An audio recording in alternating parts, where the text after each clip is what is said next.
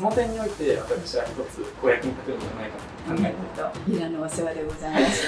ぜひよろしくお願いいたしはいま、まず無理でしょう。許されはしないのに許してくれって。それでもまだ笑ってごまかすか？皆様お入り願えますでしょうか？失礼いたします。失礼いたします失礼いたします。はい、では自己紹介お願いいたします。はい、関西大学3年の西尾里奈と申します、はいよろしくお願いいたしますこちらの方こそよろしくお願いいたします。専修大学4年の星かけると申します本日よろしくお願いいたしますはい、お願いいたします。はい、日本大学4年生の宮下由香と申します。よろしくお願いいたします。平林美也子でございます。どうぞよろしくお願いいたします。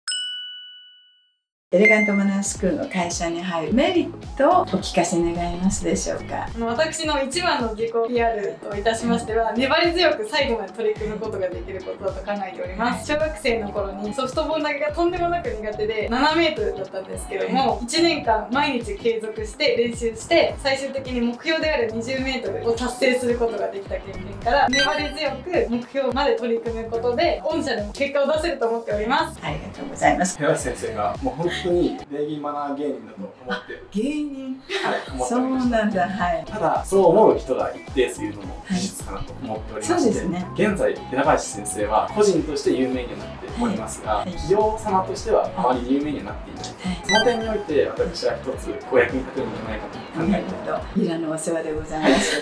私はどこでも頑張ることはできると思っていますその中ではい先生に憧れを持って一緒に働きたいと思いましたどこでもいいということは、どこでも環境に応じられるということですか？はい部署はどこでもいい。はいどこでも頑張ります私が嫌いなもの食べ物で言うとお豆腐なんですよ、はい。その食べ物を好きにできるようにどうしてくれますか？まずはじめになんでお豆腐を見ると思い悩むのかお伺いさせていただきたいです。私ね母はもう生まれた時からいなかったんですよね。父が豆腐が好きなんですよ。当時おばあちゃんがいておばあちゃんが息子可愛さに朝は味噌汁が豆腐なんですね、はい。ほとんど大きな豆腐でお汁は少ないんですよ。で昼は冷ややっこ。それも生姜もネギも少なくって夜は湯豆腐好きだって言ったら毎日毎日おばあちゃんがこしらえる。それがトラウマになってもう匂いだけでも嫌になってきて嫌いになったんです。まず匂いっていうところから麻婆豆腐にして食べればいいと。もう大嫌いです。そうしましたら何かお豆腐に携わるようなお仕事。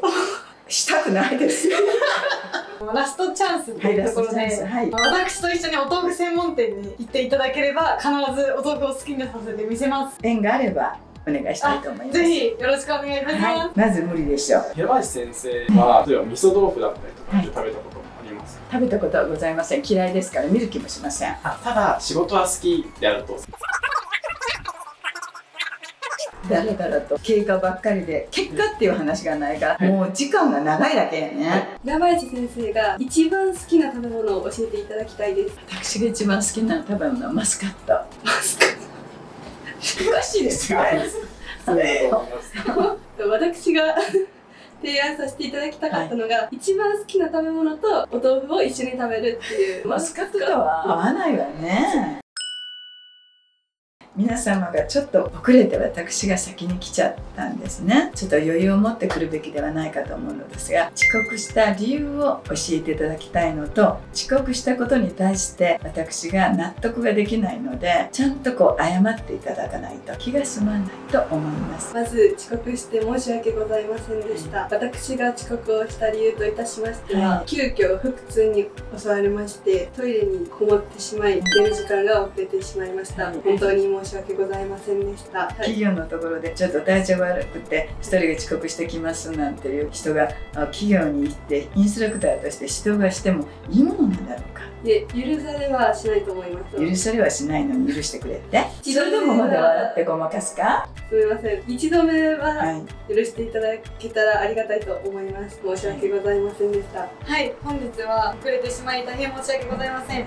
本日遅くなってしまった理由といたしましては、はい。昨日のあの台風から本日電車が止まっておりまして急遽車で向かったことから遅れてしまいました。本当に申し訳ございません。はいで私車の免許を取り立てでしてなかなか運転に時間がかかってしまい。そんな不安定な安全性のない人は我が社で一緒に同行してもいいものだろうか。はい。本日はどうしても電車が動かないというところでそれの中でもお伺いさせていただきたいなと思って初めての運転で1時間以上かけてあのお伺いさせていただきました。このご無礼を許していただけたらいいなと。はい。勝手に思っといてください。お待たせ。まずは遅れてしまい大変申し訳ございませんでした。ここで理由を申しますのも大変ご無礼なところではあると思うんですけれどもただ次の改善のために発言させていただきます。着く直前妊娠したお母様が子供が生まれそうというところでその方と一緒にタクシーに乗って病院に行ってまいりました。その結果1時間ほど遅れてしまったということになりますので次からは1時間半前には行動し改善に努めようと思いますので何卒ご容赦くださいませ。大変申し訳ございませんでした。相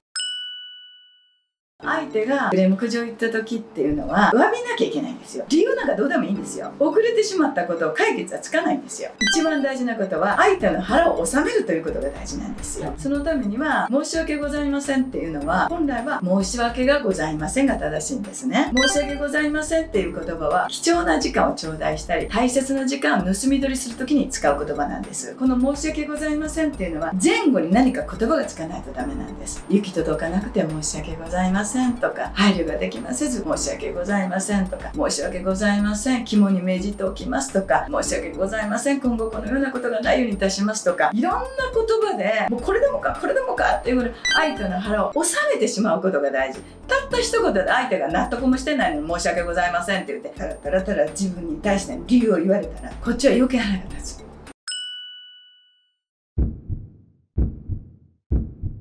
はいあなたです私ですそのか研究者がとってもいいと思います。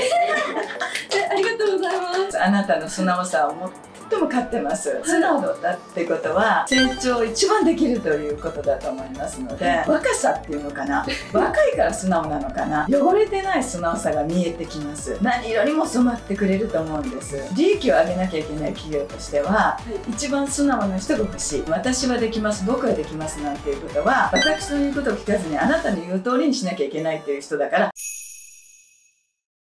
いりません。どうぞ自分で勝手に会社を起こしてくださいはいっていうところで私もどうしてもあの自分の良さを伝えようってするあまり素直さだったり謙虚さっていうところがなくなってしまっていたかなと思うのでそうだね。これからはそういったことも意識して自身のスキルアップができるように頑張りたいなって思いました。とても大事だと思う。はい。いいことおっしゃるあ